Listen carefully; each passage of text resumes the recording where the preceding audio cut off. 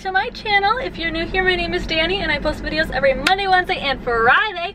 So welcome back to another Faith Friday. Um, today's video is in my car, as you see. Uh, today I just wanted to talk about just kind of, I don't know, I guess you could say they're more basic things, but it's just really like, I don't know, I listened to a sermon yesterday and I was talking to a friend about this and I just really like feel like this would be a good topic to talk about. When you want salvation, when you want to be saved, and when you want, you know, when you want to go to heaven, basically, when you want to be able to get into heaven, um, all you have to do is literally just turn to God, ask for forgiveness, believe in Him. That's literally it. As long as you believe that you know as long as you believe in him you've turned to him you've asked for forgiveness like you are saved like you are in your inheritance like right there like right there he gives you it's a free gift. Like salvation is a free gift okay? It's not something that we have to go and do all this stuff to be able to get okay? It's not oh these shadows. Oh my gosh you guys the shadows. I'm so sorry about these shadows. Like i don't know what to do about them.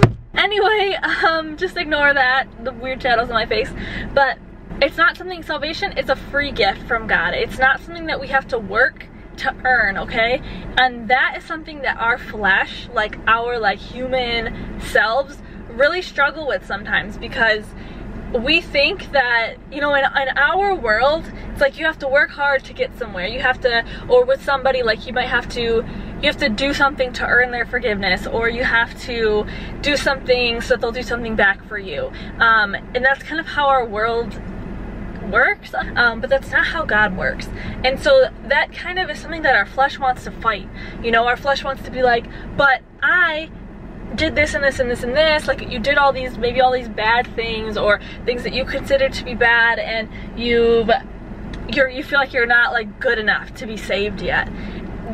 No. Like God doesn't want you to do anything before you you know, before you turn to him, literally when you turn to him, then that's when he can start working in you and through you as you spend more time with him. Then he can he can begin to give you those things like kindness, grace, um, love, just like all of the, the promises and the gifts of God, you know, then, then he can work those through us. So it's not us, it's not us within our effort and within our might to try and be something for God. Like he knows everything about you. He knows your all of your flaws and he wants you just as you are. Like if you have nothing to give God, that is perfect. Like that is perfect. You don't have to give him anything. You don't have to do anything for him. You don't have to be like, oh, let me just clean up my life a little bit more and then I'll be ready to like go like with God. Like, no, like, like you can't wait, okay? Like, if that's something that you think you want to do, like, just do it, okay? Like, like you never know. Like, maybe you won't get that chance to like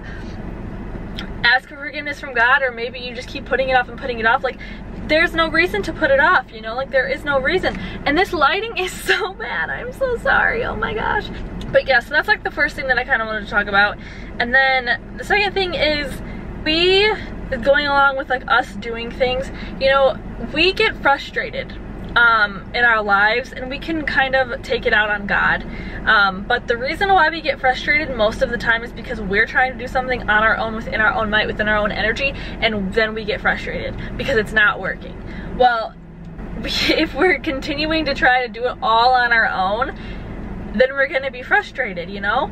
God wants to, to help you through whatever you want, you know? God is there and like you can do all things through Christ who strengthens you, okay? Like doing it, we're trying to do it with our own power and might, we're gonna get exhausted, we're gonna get tired, we're gonna get fed up, we're gonna get frustrated, we're gonna wonder why is it not working, why is it not working, let me try this now, let me try harder, like let me like burn myself out to like nothing and then you know what I mean? And then then you'll go back to God. But like God wants you to like keep him in every step of the way. Like he wants you to keep him keep him, you know, on the whatever page you're on, you know, like to pray continuously. He wants to be involved in everything in your life. So yeah, you don't have to do anything to come to God. Um, and once you are saved and you have once you once you come to God, you turn, ask for forgiveness for your sins you you want to love him okay? You want him in your life you want to go to heaven whatever. Um you, he doesn't take it back. Like he's not gonna take it back you know? Um it's one thing if you completely turn away from him and decide to start doing things for the devil or like worshiping the devil or something or like if you like literally like turn your back on God and you're like no. Like I'm gonna go do this and live this life. I don't want that life anymore that's one thing but if it's like us just making mistakes you know like human mistakes like if you end up you know, doing things that maybe you did something that's a really big sin. If you do something that you consider to be like a huge sin, but like it, you still love God, if you still believe in God, like he's not gonna take your salvation away from you. Like, it's not how it works. That's not works. It's a free gift. He's not gonna take back his gift that he gave you um, just because you make mistakes. You know, we all make mistakes. We're not perfect people. Nobody is perfect. And I feel like there are a lot of people who maybe look at other people and think that, oh, like, like they deserve it more. Like they deserve to go to heaven more or they deserve God more or like, wow, like they're really like they're such a good person like of course like like I don't know people think that certain people are gonna have more favor from God or certain people God loves more. That's not true. Like it doesn't matter. Like if you have turned to God and you believe in him, like he loves you he loves us you know he loves us all the same and he doesn't take back his love he's not he's not a, a bad god he's not a evil person that's gonna like do all these evil things to you because you've made a mistake so yeah, I guess I just wanted to say that because I feel like that's something that maybe a lot of people struggle with. I know a lot of people get mad at God um, for things and honestly I don't really have the answers to all of that topic.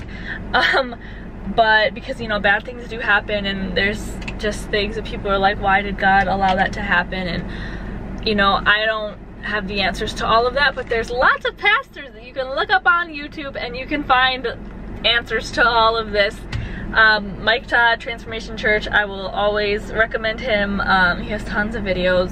Go on there, search him up. Joyce Meyer, love her.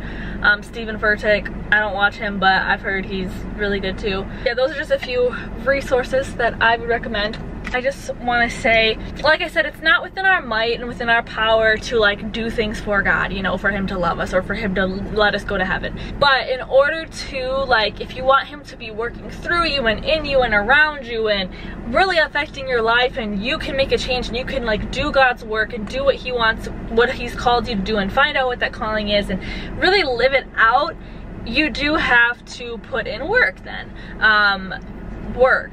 So you do have to, you know, spend time with God, spend regular time with Him. It's so important to have regular time with Him.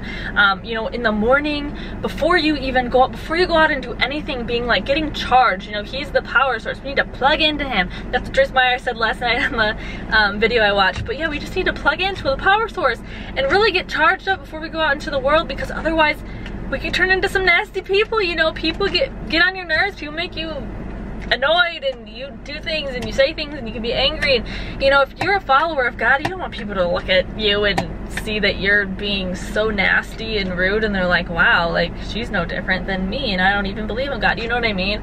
So in that regard it is just so important to spend time with God. And it's not something, it's not a rule, it's not something you have to do, but it's something that once you like, if you love God, like you're just gonna like want to do, you know? It's just something that comes along with it and you're just gonna wanna spend time with Him. And then once you spend a little time, you're gonna wanna spend a lot of time and then you're gonna not be able to spend any day without God. You're just gonna want Him all the time and you're just gonna always do it. Make it a habit. Um, sometimes it's hard. I'm not going to lie. Sometimes it's hard to read the Bible. Sometimes it's, it's, it might be boring or it might just be tedious or it might just be like something that feels like a chore, honestly.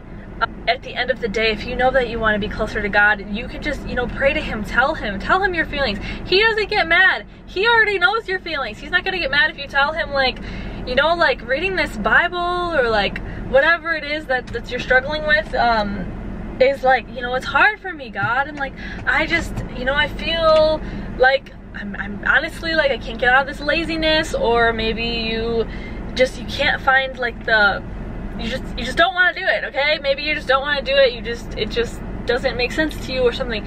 You can pray to God about that. Tell him how you feel. Ask him for ask him for the energy to do it. Ask him for the um, revelation in your mind to be able to understand what you're reading. Can help you with that and um, yeah, it just sometimes you just have to do it even if you don't feel like it. Just like with anything in life, I always re relate everything to working out. You know, even because you know what your goal is. You know, the end goal. If your end goal is to be close to God, then you gotta spend time with Him, even if sometimes you don't feel like it. Because the devil will come in. Okay, he will come in and he will try to. He'll make you tired as soon as you try to read the Bible, or he'll he'll make you not feel like it. He'll he'll put all these other things, distractions in your life to so that you don't read the Bible, so that you'll veer off and go do other things. Like he will do that, but you have to be strong and know what your end goal is and stick to it, and you will see amazing fruit in your life. That is all I have for today's video. Very short and sweet. I just wanted to film this really quick. Um, I am so tired. I'm trying so hard to keep my eyes open. I don't know if you could tell I was like really squinting in the last part. I'm trying so hard to be like energetic but I don't have any energy right now. I um I slept like three hours last night, legit. And um, I did a workout today and I'm just starving and tired, but I wanted to get this filmed for you guys. I didn't want to miss out on a Faith Friday video. But yeah, guys, I hope you guys enjoyed the video. The shadow on my face is terrible, and I will see you guys in the next one. Bye!